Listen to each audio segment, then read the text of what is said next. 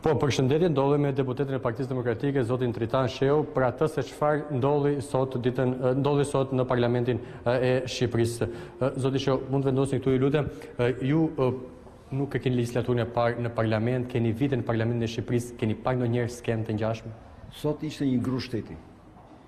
Ishte një grusht shteti vërtet kundër parlamentarizmit, kundër parlamentit shqiptar, Ishte realisht shkatërrimi i të drejtave të parlamentit dhe i deputetëve.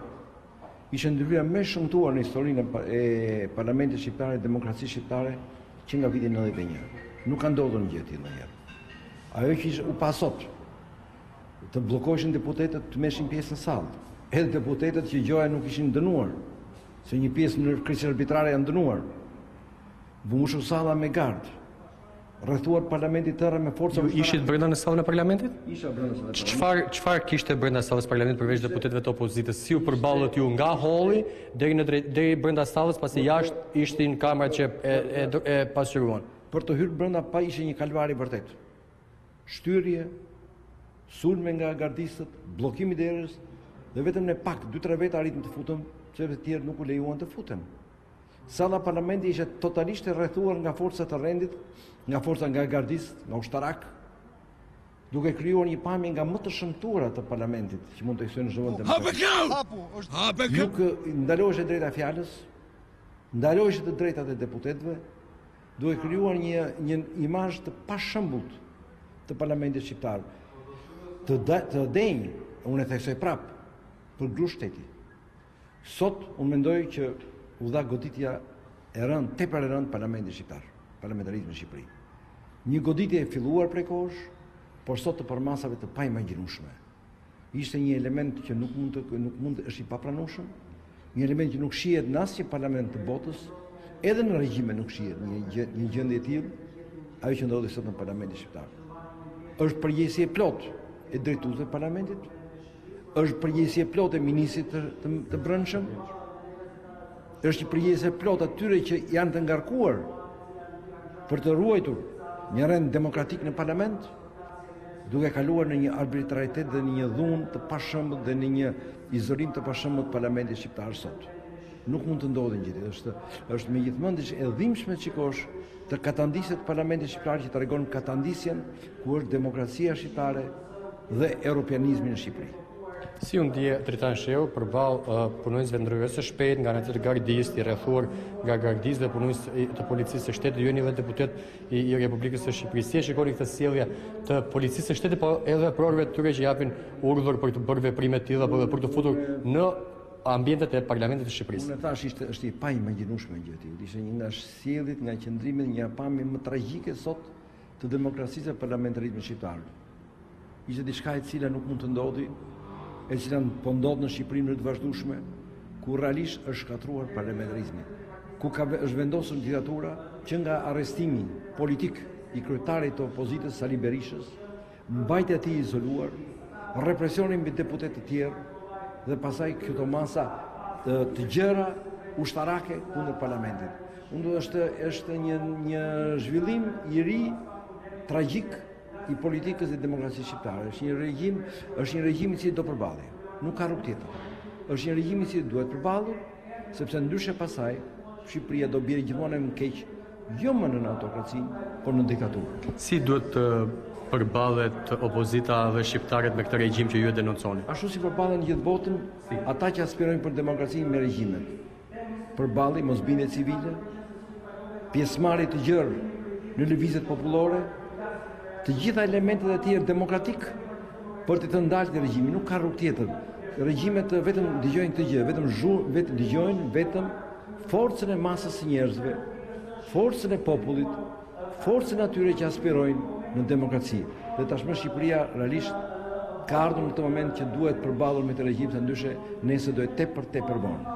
Zoti zoti Shehu, ju prej kohësh, prej vit, prej muajsh e keni denoncuar arrestimin e zotit Berisha dhe ju keni bërë herë pas here apel kolegëve që t'u drejtohen institucioneve europiane dhe Pritet që në datën 23 të ketë një takim dhe një për, një protestë sensibilizuese në Parlamentin Europian. Këto se çfarë ndodh në Parlamentin e Shqipërisë do të transmetohen atje, do përcillen atje. Shiko nuk është se nuk po i transmetojmë. Me kolegë të ndryshëm, po me përfaqësues të vendeve të ndryshme po transmetojmë. Por ajo që duam të bëjmë pak ditë më vonë është një manifestim i qartë, shumë më i gjerë, Për të sensibilizuar Parlamentin Europian një institucion demokratik i konsoliduar për shkeljet e rënda të demokracisë në Shqipëri dhe për deformimin e demokracisë në Shqipëri, e cila për mua ka pikën kulminante me arrestimin politik të Sali Berishës, liderit të opozitës dhe kryetarit të Partisë Demokratike, mbajtjen e izoluar të tij, për shkuar sot në ngjarjen e sotme, e cila është një ngjarje me gjithë mend shumë e rëndë duke militarizuar parlamentin shqiptar. Pra unë i shikoj këto gjëra të lidhura, shikoj një revansh që vazhdon të diktaturës, shikoj një revansh që vazhdon të shkeljes së demokracisë, shikoj një revansh që vazhdon të shkeljes së drejtave të Sali Berishës, liderit opozitës, të deputetëve të tjerë si Saliani që mbahet i burgosur, të militarizimit sot të parlamentit shqiptar, dhe shumë elemente të tjera të cilat po na çojnë realisht shumë më larg se sa autokracia, po na çojnë në regjime si regjimi i Kim Jong Ungut. Çfarë do të ndodhë Parlamentin Europian? Do të shkojnë disa deputetë, do të ketë takime, do të ketë një protestë jashtë, ka informacione? Do të ketë padyshim protestë jashtë, do të ketë takime të ndryshme, Me kolegët tanë do ketë padyshim një shprehje të të kësaj që po ndodh në Shqipëri për të sensibilizuar eurodeputetët në në me këtë vep në këtë deformim të thellë të demokracisë shqiptare dhe për të kërkuar ndihmën e Parlamentit Evropian, se Shqipëria është një vend që aspiron të jetë anëtar i Bashkimit Evropian, Për të dalë nga ky qerthull i madh i diktaturës po vendoset në Shqipëri. Çfarë do të bëjë opozita pas asaj se çfarë ka ndodhur sot, duke parë atë se çfarë do të ndodhë javës tjetër, si do të vijojë mosbindja civile apo aksioni opozitar sipas jush? Opozita duhet të përdori të gjitha metodat dhe të gjitha mundësitë, të gjitha hapësirat për të ngritur zërin. si në në Shqipëri, duke vazhduar të këmbëngulë të jetë në parlament dhe të, të, dhe të ngrejë zërin fort në parlament, duke organizuar jashtë parlamentit, në rrugë, në sheshe, në, në, në, në rrethe, jashtë Tiranës, duke komunikuar përditë përditë sa më ngushtë me partnerët ndërkombëtarë, duke ngritur këtë çështje pranë institucioneve ndërkombëtare siç do bëhet pas disa ditësh para Parlamentit Evropian, por duhet vazhduar edhe me të tjera institucione europiane, duke kërkuar që njerëzit të zhvillojnë një mosbindje civile të fortë ndaj këtij regjimi për t'u përballur me këtë regjim, pra duhet të përdorë të gjitha metodat që përdoren kur përpara ke një diktaturë. Kjo është, tjetër gjë nuk ka.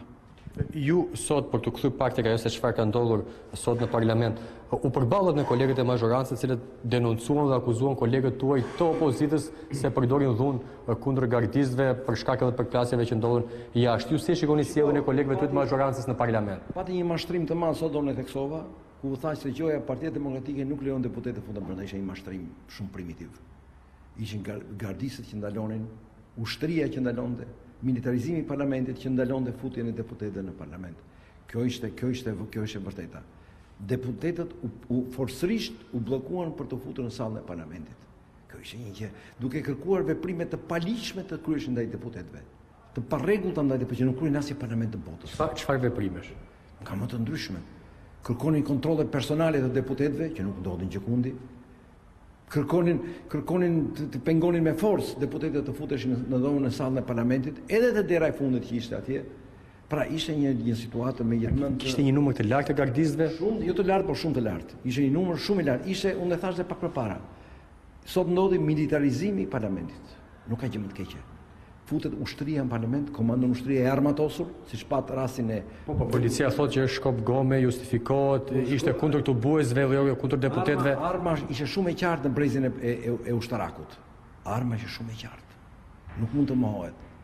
Pra, jemi përpara një situate me gjithë mend tragjike, e cila kërkon lëvizje të gjerë popullore, mosbindje të gjerë civile, kundërvënie të plotë dhe të determinuar dhe pa kthim mbrapa ndaj këtij regjimi që po e çon Shqipërinë në diktaturë. Faleminderit. Faleminderit juve.